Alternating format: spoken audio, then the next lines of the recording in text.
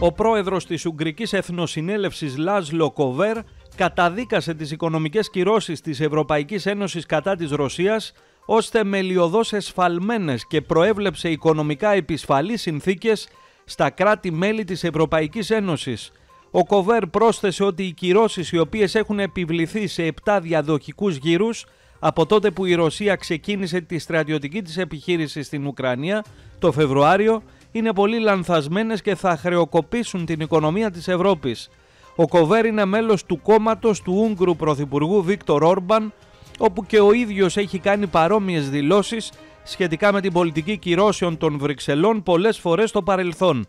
Η Ευρωπαϊκή Ένωση, η οποία προμηθεύεται περίπου το 40% του φυσικού αερίου της και το 1 τρίτο του πετρελαίου της από τη Ρωσία, αντιμετωπίζει τώρα αυξανόμενο ενεργειακό κόστος και πληθωρισμό ρεκόρ